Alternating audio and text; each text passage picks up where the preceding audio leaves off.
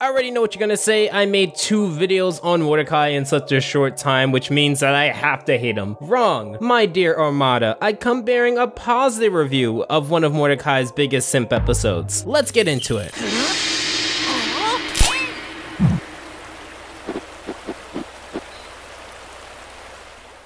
I have to shout out Crummy.Bears for their incredible fan art of my character looking outstanding as always. Give them a follow if you have Instagram. Also, big thanks to the early supporters of my new subreddit and the restoration of my amino after a long hiatus. Within no time, these divisions will be a powerful force within the Armada. And you can help by joining any of them by going to alphajay.show slash panda and joining the Panda Armada today. So to start things out, Mordecai and Rigby are watching a movie trailer for a generic zombie movie. Blood, Guts, Dinner.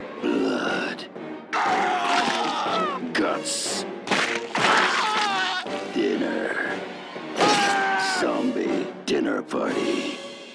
That looks awesome. The episode establishes the bond between Mordecai and Rigby early on by having Rigby be the one who has the tickets. This goes against the perception of Rigby being very lazy and financially irresponsible, which proves that even more, he would go out of his way to make his best bud happy. It's a simple premise to start things off. However, Mordecai brings out two tickets for Pajama Sisters, apparently a chick flick that he intends to watch with Margaret. I love this notion that Mordecai bought the tickets thinking that he knew what Margaret would want. In hindsight, when we're talking talking about a girl he seems to know at this point barely, that's kind of weird. It's like asking someone to go on a date with you to a steakhouse and not knowing that they're vegan, but still having the reservations and anticipating a yes. I admire the risk, but this is making you look more like a simp. Speaking of, Rigby echoes the statements of many when it comes to certain streamers and the defenses given to them. They're just gonna sit around talking about their feelings fully clothed. And here is when things start to get interesting. This episode would revolve around this revolutionary action and reaction combo that has defined this character for years. This one act is so engaging to watch that it has become synonymous with the name of the character who has perfected this technique. While there are many early adopters of this technique, sit down and write the notes on the method, only known to us mortals as Mordecaiing. Your food's almost ready. Sorry for the holdup. Oh, hey, Margaret.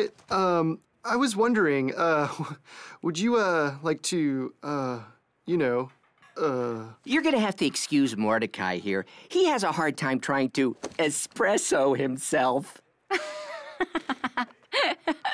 Good one, Rigby. I should make my stance clear on this. I think the act of approaching someone you like is fine. I believe even messing up is something that happens to a lot of people. I even think if you hang out with your friends a lot and you like this girl or you like this guy and you would like to prioritize them for, you know, a Friday and, you know, have a date, go out somewhere, or basically just do something with them, that's also fine. You see, when I say Mordecai, there's a clear distinction. Again, you see, Mordecai and Margaret work well on paper, and I wouldn't have been opposed to seeing them in a steady relationship at the time. The part that makes this Mordecaiing, and not those scenarios I just stated, is that Mordecai often throws Rigby and others under the bus to make himself look better, which I explained in the video before. The spin in this episode is that Rigby would have a better time talking to Margaret and show that he is comfortable when talking to women. Now, of course, I would say in defense, Rigby doesn't even know when he looks like an idiot, so of course he's not gonna have that aspect of shame or nervousness in certain situations.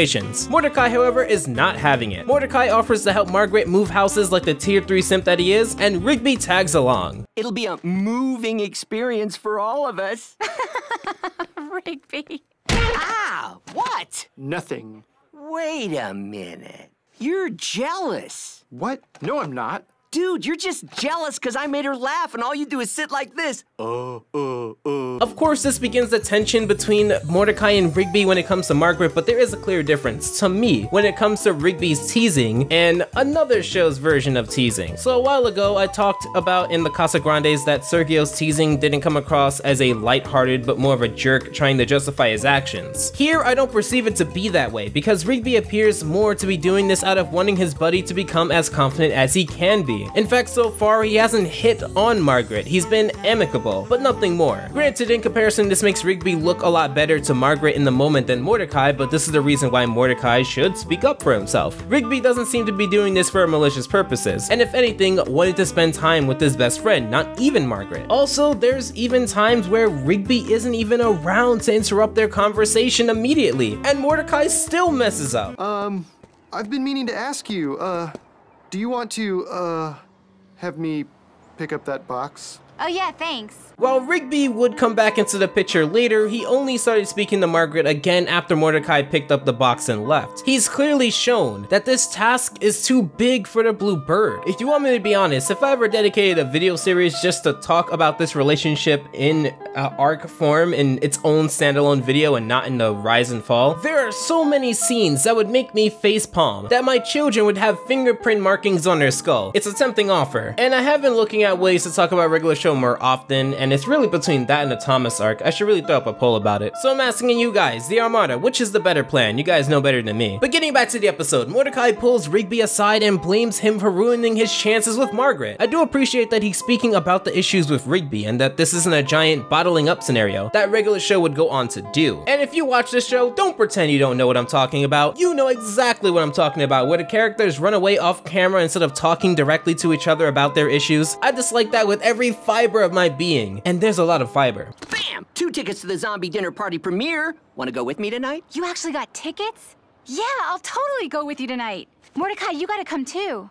Mordecai can't come because I only got two tickets. Aw, maybe next time? No, no, it's cool. You guys have a good time. So every time I upload a video to YouTube, they present me with the questionnaire that determines the ad-friendly nature of my content. Every time I've completed that form, my content has come back advertiser-friendly, 100% flex. However, I think now when I upload this video, there might not be ads. I may have to label this video and tell YouTube that there was a murder in this video. Never have I seen such a brutal beating of someone's self-confidence, pride, and chances at a movie day wrapped up into one Chad package. That was very brutal, but over here in Armada, we have to push each other to be better, and Rigby did that with tact and care, even if he gave Mordecai the cheesiest look I've ever seen. Mordecai submits to the Alpha Rigby. Alright, you win. I was in my feelings. Call off the date with Margaret and I'll go to the movies with you. And this is where things get a little... what's the word? Let me look through my, my dictionary for a second. Just give me a second. I think I kind of... is it here? Alright, um, let me see, looking through the list. Ah yes, timely. As per the law of most cartoons, they exaggerate the situation and blow it up to increase the possibilities to be done with that concept, and this is no different. Rigby shows Mordecai that Pajama Sister is doing terribly, like his attempts with Margaret, and that's his words, not mine. Rigby brags to Muscle Man about his date and how he loves that Margaret isn't going out with Mordecai. His words, not mine. Rigby lastly, while playing video games with Mordecai, shows that when they go to the movies, Rigby is going to make out with Margaret, which is interesting because he's rarely shown affection for her so far. I'm warning you, man. You better call her and cancel. I can't cancel. That's being rude. I can't be rude to the ladies. Besides, I've got 20 minutes till my date. Hmm, hmm. Are you sure it's only 20 minutes till your date? Huh?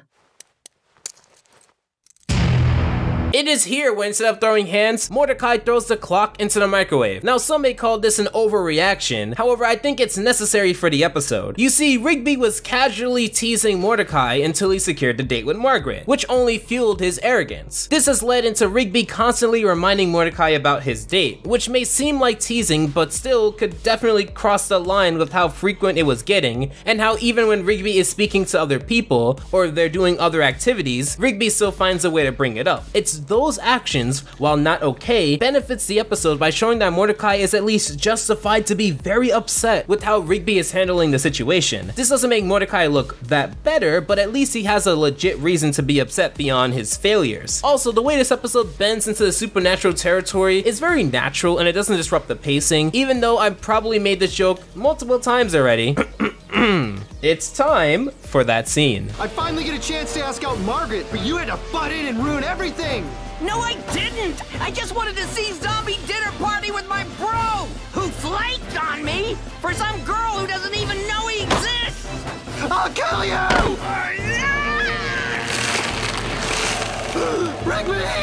Every time I see this, it gets funnier to me. Here you have a very early version of Mordecai simping and getting mad at everyone but himself, and when Rigby brings up the fair point that Margaret probably wouldn't know Mordecai existed among the many times he stammered and made himself look very silly, his only reaction is to push Rigby back and say that he's gonna kill him, and then react in a way you would if you did not want to kill him. Let's all agree that Mordecai was acting in the heat of the moment for scenario and argument's sake. Doesn't this mean that Mordecai still has emotional problems that he has has to deal with himself, while flaws definitely do make the character, and this was a very early episode, this specific problem would come back again and again and again. And in my Rise and Fall, when I talked about the Rigby's graduation day special, that's the worst example of them all to show Mordecai's behavior and Mordecaiing and that sort of tie in with him being a simp. I believe that to be worse than Lift With Your Back when it comes to that certain situation. As much as I think the dialogue within this episode has been clear, concise, and easy to understand, it proves that later on in those episodes, those had no excuse. While some may hate this episode for making Rigby look too much like a jerk or Mordecai to overreact and show the simp side of him, I think both sides pull each other in an acceptable middle ground, which shows the entertaining story of two bros fighting over a girl that only one of them actually likes. Mordecai takes a journey down to the void to meet up with a certain fantasy figure. I am Father Time, and you're the one who's been running around microwaving all my clocks. I didn't mean to. You didn't mean to. You've wasted my time, your time, and you really wasted the time of that guy you killed. He's dead, and now you get to spend eternity here at the end of time. All because of your petty jealousy. I'm not jealous. Yes, you are. Even when confronted by an all-seeing, time-warping being, he still can't be honest. That behavior is so deep-rooted in his character that he'd end up messing up two perfectly fine relationships. I don't care if he went with Margaret or CJ, or if he had the decency to start or end these relationships in a mature manner. The point is that he doesn't take responsibility in relationships until he's pushed up against the wall. I would say that this led to entertaining episodes. Not many, but there are some out there. But to be honest, that aspect frustrated me more than it entertained me, because it was just that aspect repeated over and over, with no evolution of the concept or raised stakes or anything like that. Especially in a cartoon where you definitely can do that, especially in regular show, where they're known for exaggerating and going into the supernatural. This aspect was minimally built on, and no, just because Mordecai switched which person he'd pursue doesn't mean the action and reactions weren't essentially the same. However, upon seeing his erroneous ways through a flashback, he has remorse and at least says that he has plans to improve. In hindsight, even this scene is hilarious because we know now that he's just willing to say anything to get out of the position that he's in. Oh, well, except the phrase, will you go out with me? Did you see how hard Margaret laughed at me? Oh, dude. You're jealous! Admit it! Dude, I'm not. Well, maybe just a little bit. If only it stayed a little bit, would this series end up a different way? Its Time is a good, dare I even say great episode, even if it has to do with the frustrating aspect of Mordecai. I didn't see either side as being too much for the story, but what do you guys think? Let me know in the comments down below. Special thanks to the supporters of September, and until next time, take care. Alpha out.